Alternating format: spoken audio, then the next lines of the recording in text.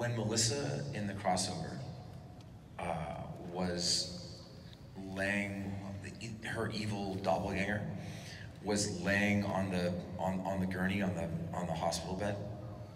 What's that called? Is it just a gurney? Okay. Um, and she was supposed to be like in and out of consciousness.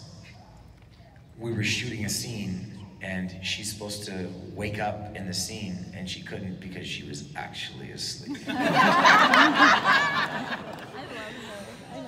and this happens. I can't remember. I was. It was with Tom Cavanagh, and we realized that she was asleep. And he was about to wake her up, and I go, no, no, no, no. I like started randomly singing a song. I was like, okay, we got her. We have her like uh, on camera asleep, and I leaned right in and I go, you're asleep. Melissa's asleep.